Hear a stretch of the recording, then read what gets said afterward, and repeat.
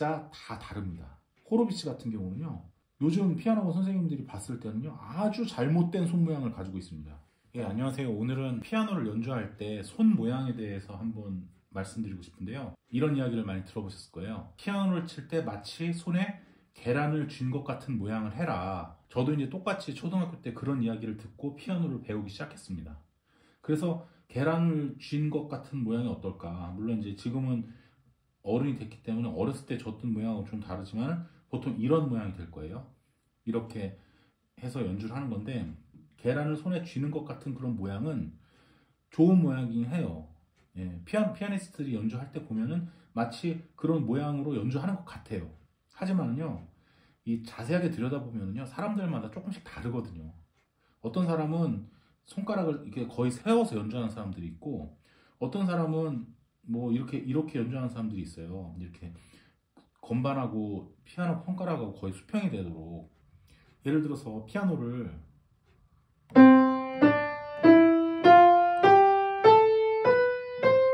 자 이렇게 쳤어요. 계란 모양 아니잖아요. 근데 실제로 피아노를 강하게 치려면요 이렇게 치기도 하지만 이렇게 치기도 하고요.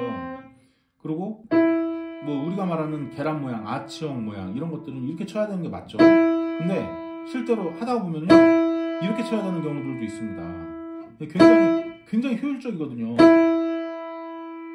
굉장히 효율적이에요. 그리고 새끼손가락도 아치형으로 하려면 이렇게 해야 되거든요. 이렇게 힘이 없어요 새끼손가락에. 그래서 어떤 분들은 아예 눕혀서 이렇게 쳐버리죠. 연주하는 사람들마다 각자 자기의 특성에 맞게 손 모양을 바꿔줘야 돼요. 근데 이런 것들을 얘기를 안, 해, 안 해주고 그냥 아, 계란을 쥔 것 같은 모양을 하세요 라고 해버리면요. 처음 배우시는 분들은 강박에 사로잡힙니다. 그래서 아 저렇게 쳐야지 잘 치는 건가 보다 해갖고 계속 그 모양을 만들려고 하는데 피아노를 취미로 하시는 분들 그런 분들은 가장 중요한 게 흥미를 잃지 않는 겁니다. 특정 교수법에 너무 지나치게 얽매여서 자기하고 맞지 않는 연습을 하다 보면 오히려 레슨을 받지 않는 것만 못할 수가 있으니까 그런 것들에 굉장히 주의를 하셔야 된다. 여러 연주자들의 그 연주 영상들을 보면은요, 어, 우리가 생각하는 그런 모양하고는 다르다. 그러니까 어렸을 때부터 배워왔던 모양하고는 좀 다르다 라는 생각이 들 때가 있거든요. 근데 그건 너무나 당연하죠. 사람들마다 그 얼굴 생김새도 다르듯이 손 모양도 다 다르고요. 자기가 연주하기에 편안한, 편안하게 훈련된 그런 근육량도 다 다른데, 그걸 갖다 일괄적으로 계란을 쥔 것처럼 모양을 해라. 이거는 정말 처음에 한 번 정도 이야기하고 손 모양 같은 경우는 사람에 따라서 다 다르게 적용돼야 된다. 이렇게 주장하는 입장이고요. 피아노를 처음 배우시는 분들 같은 경우에는 이런 것에 대한 강박이 좀 있어요. 그래가지고 아, 손 모양은 이렇게 계란을 준 것처럼 동그라미 모양으로 아치형 모양으로 이렇게 해야 된다라는 그 강박 때문에 오히려 자기가 자유롭게 연주할 수 있는 부분에 대해서도 연주를 못하는 경우가 생기거든요. 저는 그 부분이 너무 안타까워요.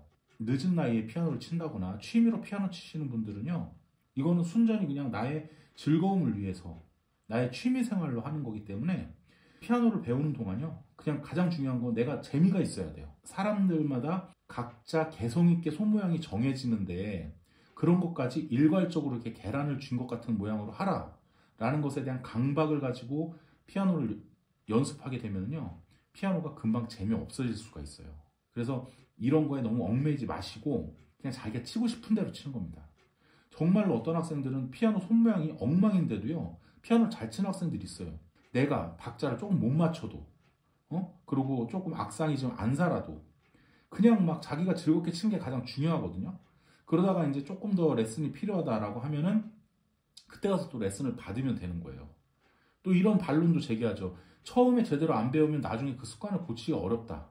굳이 고칠 필요가 있습니까? 취미로 하는데? 취미로 그냥 즐겁게 연주하는 사람의 자세를 갖다가 지나치게 고치려고 하고 가르치는 교, 선생의 주관대로 계속해서 뭔가를 갖다가 학생에게 강박을 심어주고 이렇게 되면요. 이 학생은 나중에 피아노를 그만두게 됩니다.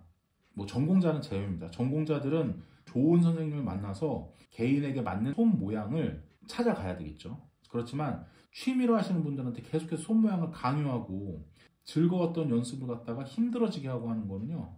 정말 좋지 않은 교수 방법이라고 저는 생각을 합니다. 이 손 모양에 관한 문제는요. 일단은 자기가 치고 싶은 대로 치는 거예요. 자기가 하고 싶은 대로 해요. 이틀이 나쁘다는 건 아니에요. 근데 모든 사람이 이틀이 맞지 않아요.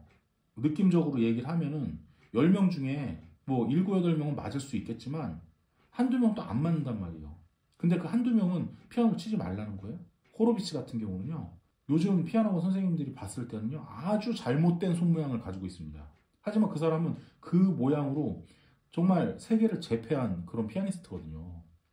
그러니까 사람들마다 다 각자의 개성이 있어요. 그래서 피아노 연주를 할 때 손 모양을 이렇게 잡아라, 저렇게 잡아라. 이걸 갖다가 이야기는 해줄 수 있지만 이게 맞다, 저게 맞다라고 확정을 지어서 이야기를 하면 안 된다는 겁니다. 그래서 자신을 불편하게 하는 그런 어떤 교수를 받으셨다면은 그것에서 좀 벗어나셔야 돼요.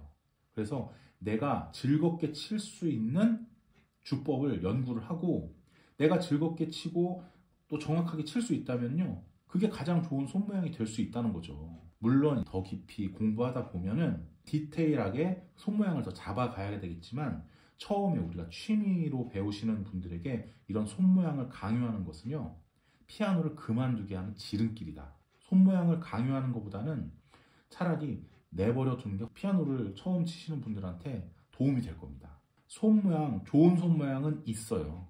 있는데 각자 다 다릅니다. 그래서 자기가 직접 쳐보고 거기에 맞는 손 모양을 계속해서 맞춰가야 되는데 이걸 갖다가 계란을 살짝 쥔 모양이 좋은 손 모양이다 해놓고 이 손 모양대로 해라라고 하면요 사람 굉장히 불편하게 하고요 즐겁게 피아노를 치러 왔다가 그냥 떠나버리는 경우가 많기 때문에 절대 저는 이런 손 모양을 강요하지 않았으면 좋겠다.